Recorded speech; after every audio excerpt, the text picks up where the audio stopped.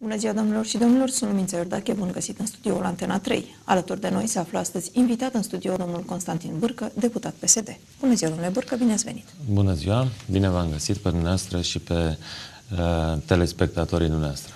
Prima întâlnire de la, din campania electorală, cred. Așa este. A fost o campanie grea, dar uh, s-a terminat cu bine, cel puțin pentru mine și partidul pe care îl reprezint astăzi. Ați și câștigători.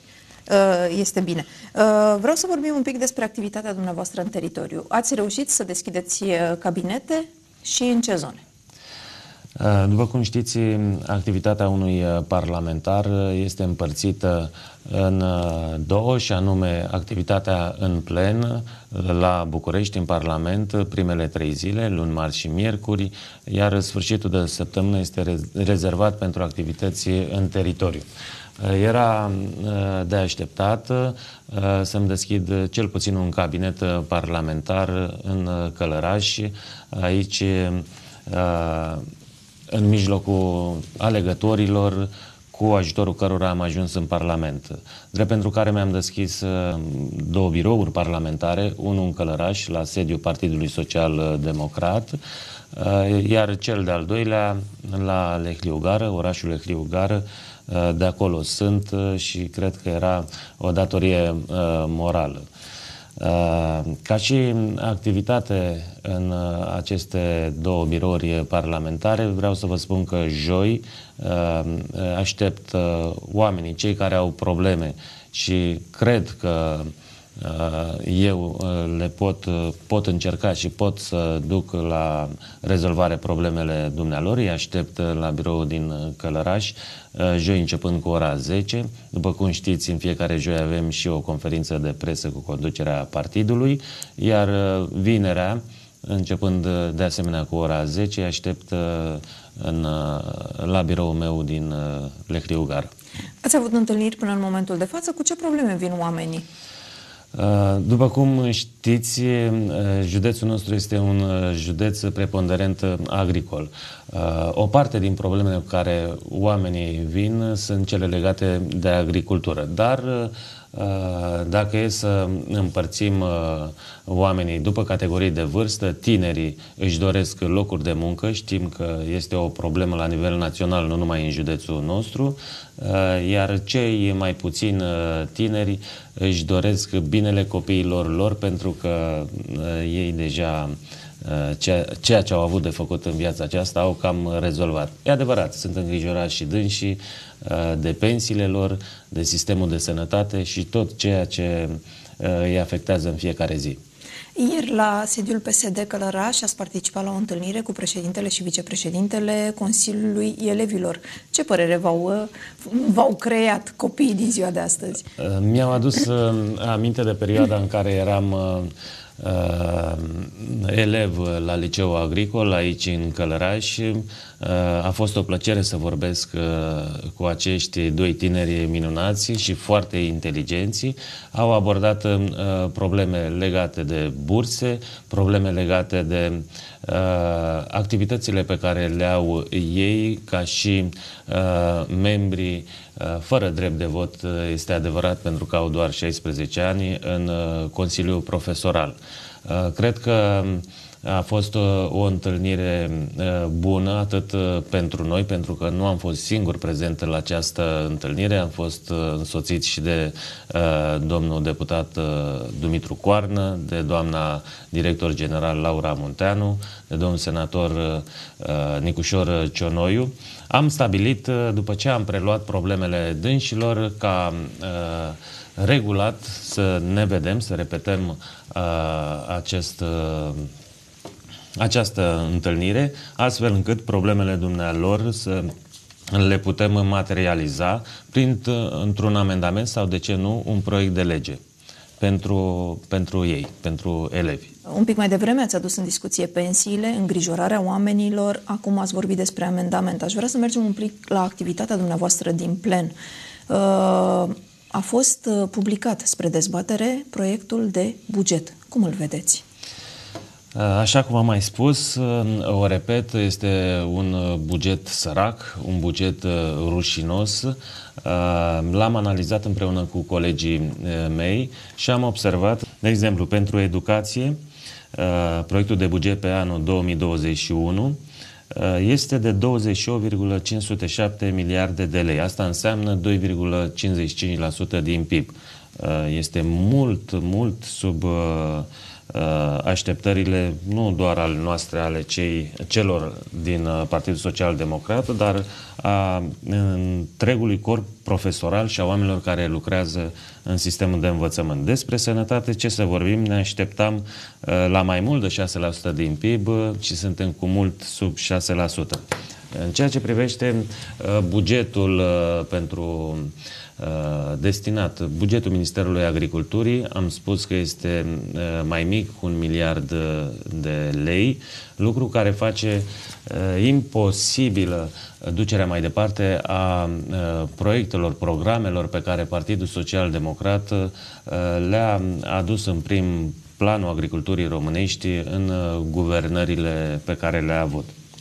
Acum, sigur, întrebările Uh, să, întrebarea se pune de unde să vină banii, acești un miliard. Dar uh, domnul ministru de finanțe, domnul uh, fost ministru de finanțe, actual, actual premier. premier Câțu, a pus, de asemenea mi-am notat undeva, bani care provin din evaziunea fiscală, 1,1 miliarde de ron. Asta înseamnă 111 miliarde. Dacă ar fi pus 110 miliarde bani pe care uh, îi așteaptă din evaziunea fiscală, acel 1 miliard ar fi putut fi repartizat agriculturii și nu mai eram în situația în care ne, uh, ne găsim astăzi. Uh, sigur, în momentul acesta, după cum știți, se lucrează la nivelul Comisiei Europene la o nouă politică agricolă comună. Uh, acolo participă și reprezentanții Ministerului Agriculturii și nu numai, dar și domnul uh, ministru. Uh, sunt cunoscutele trialoguri, dar sunt convins că domnul ministru nu o să solicite bani în plus pentru agricultura românească. De asemenea, la momentul acesta, la nivelul Ministerului Agriculturii, uh, se discută observațiile pe care Comisia, cei de la Comisia Europeană le-au făcut vis-a-vis -vis de acest uh, plan național de uh, restructurare și reziliență. Acest plan național ar fi trebuit să fie uh, pus în dezbatere publică, ar fi trebuit uh, discutat cu reprezentanții fermierilor, să fi fost uh, prezentat uh, în Parlament, astfel încât vocile puternice din agricultură să aibă un cuvânt de spus, să cre- creioneze viitoarea politică agricolă comună, proiectele sunt până la urmă în folosul și în beneficiu fermierilor. Uh, așadar, ei ar fi trebuit uh, uh, să fie invitați în primul rând, astfel încât aceste proiecte să fie ușor de dus la îndeplinire. Pentru că aceste proiecte sunt adresate lor. Sigur, proiectele noastre, mă refer aici la programul Tomata, Usturoiu, Uh, la toate celelalte ajutorul pentru lână și celelalte ajutoare, mm, n-aș vrea să uh, intrăm acum direct în ajutoarele uh, pentru secere, dar poate mai târziu Cu siguranță vom aborda și, și acest subiect. Acest subiect care este foarte fierbinte și de interes pentru uh, fermierii noștri. Uh, acest uh, plan național de restructurare și reziliență nu este uh, cunoscut în detaliu, ci doar uh, pe surse. Nu știm exact ce conține el, iar ceea ce guvernanții de astăzi ne fluturau în, campanii, în campania electorală, în campaniile electorale, că au fost două runde de alegeri, și anume că avem cei 80 de miliarde Uh, de euro puși la dispoziție. Nu știm unde sunt, pentru că în bugetul uh, de stat ei nu sunt nu prevăzuți, se nu se regăsesc, exact, la fonduri europene. Apar uh, câțiva bani, într-adevăr, din exercițiul financiar trecut, 2014-2020. Avem, de asemenea, în dezbatere și în lucru la momentul acesta PNS-ul planul uh, național suport. Nici despre acesta nu știm uh, mai nimic. Așteptăm să vină, să ni-l arate și sperăm să fie unul bun, dar având în vedere că nu este public, nu este transparent, probabil nu sunt bani suficienți pentru susținerea unui proiect pentru țară, până la urmă, pentru agricultori, așa cum ar trebui. Vorbeam de secetă. Știți, în 2019 am avut o producție record la porumb, 17,4 milioane de tone s-au uh, produs. În 2020, ca urmare a fenomenului de secetă pedologică extremă, producția la porumb s-a înjumătățit. Același lucru s-a întâmplat și cu producția la floarea soarelui. Uh, pentru culturile care au fost afectate de secetă, pentru culturile înființate în toamna anului 2019 știm cu toții că s-au plătit despăgubiri de secetă, uh, nu în totalitate, ci doar într-un cuantum de 89%. În ceea ce privește culturile afectate de secetă înființate în primăvara anului 2020, uh, nu s-a mai întâmplat nimic. Nu avem un uh, Uh, proiect de act normativ, un ordin de ministru să fie măcar în dezbatere publică sau să fie afișat pe site-ul Ministerului Agriculturii. Uh, știm că trebuia notificată și comisia cu privire la intenția noastră a statului membru de uh, a pune la dispoziție aceste despăgubiri fermierilor afectați. Lucrul acesta nu s-a întâmplat. Vorbim de 1,2 milioane de hectare afectate de secetă, mă refer la culturile mițate în primăvara anului 2020. Uh, de aceea nu ne miră nimic, nu ne mai miră nimic, nu ne miră că ieri fermierii noștri revoltați, unul din, uh, uh, una din problemele pentru care s-au aflat ieri în București. Au protestat ieri în fața protest, Ministerului da. Agriculturii. Da, a fost, uh, aceste, au fost aceste despăgubiri de secetă. Cred că Eh, dacă vor continua în ritmul acesta și anume nu vor fi transparenți, nu vor aduce în dezbaterea în publică intențiile pe care le au și să uh, promoveze proiectele pe care le gândesc, sper să existe, uh, oamenii, fermierii noștri vor, vor ieși în stradă masiv pentru că în perioada aceasta, fermierii sunt preocupați de uh, pregătirea începerii lucrărilor de însămânțare, lucrărilor agricole din primăvara acestui an.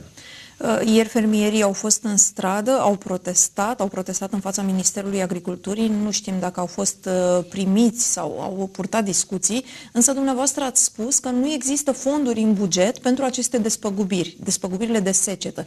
Ce se poate face în acest moment? Veți depune amendamente? Cum îi puteți susține?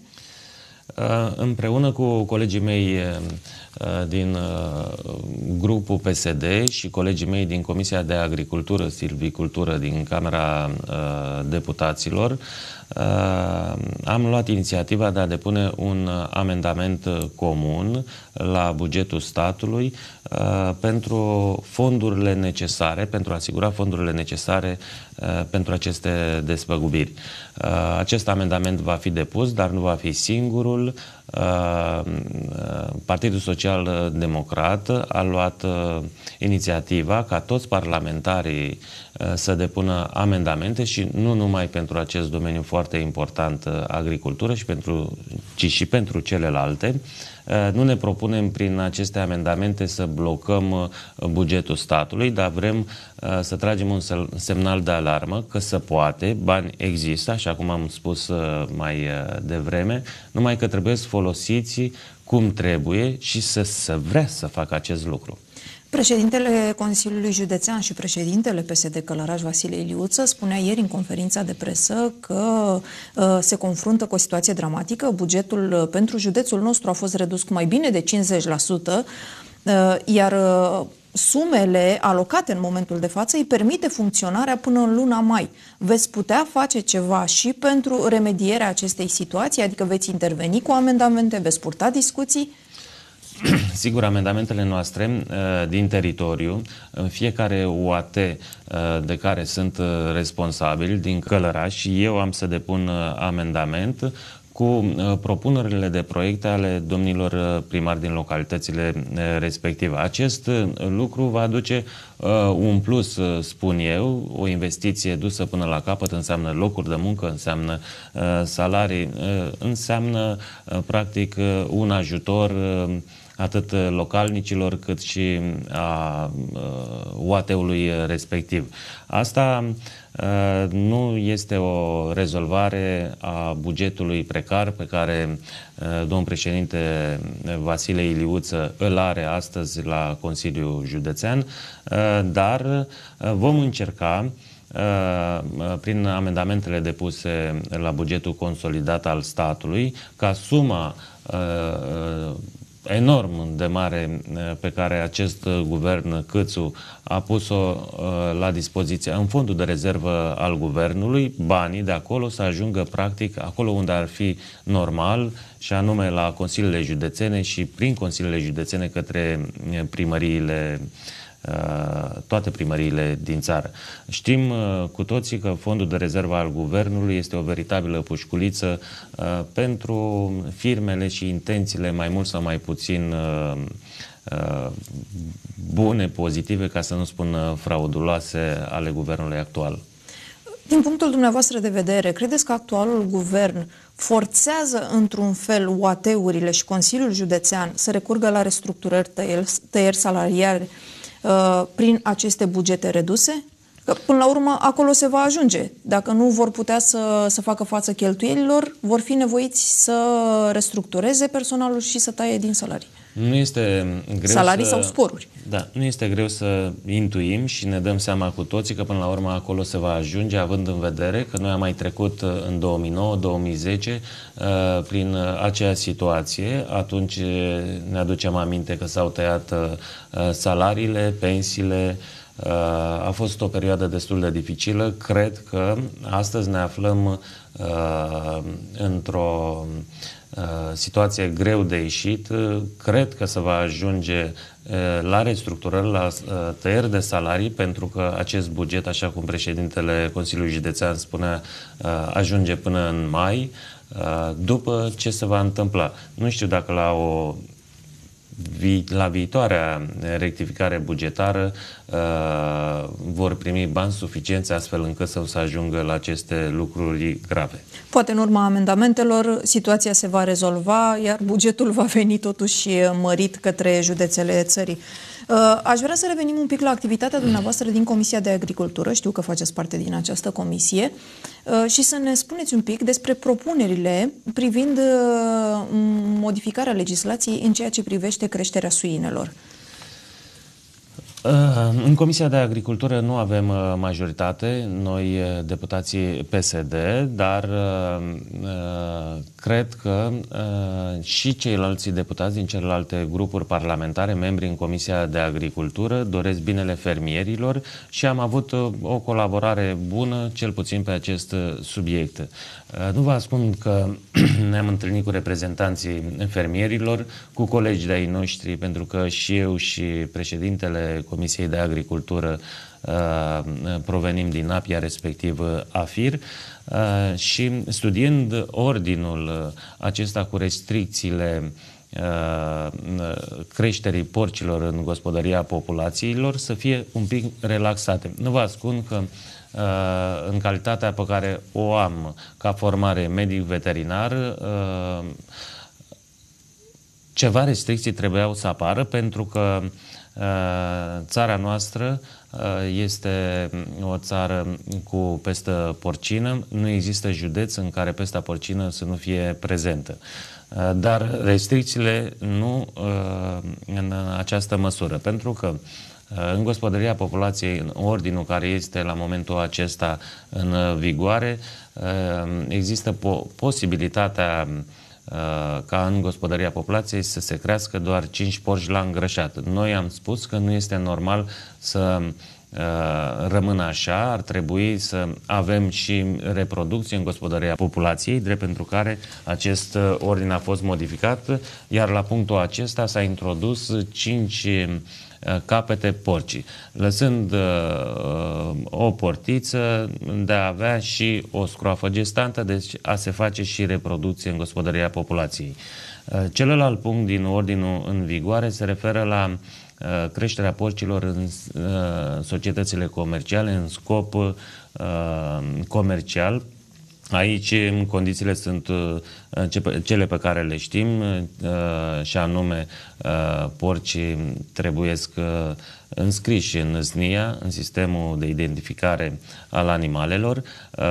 Firma, societatea trebuie să fie autorizată sanitar veterinar. Sunt restricțiile specifice unei societăți cu personalitate juridică. Și am mai introdus încă un punct în acest Uh, ordin care este la momentul acesta uh, pe site-ul Ministerului Agriculturii și anume uh, creșterea raselor autohtone Bazna și Mangalița în sistem semideschis, astfel încât să nu pierdem ceea ce mai avem noi la momentul acesta ca și rase autohtone, mai ales în zona Ardealului.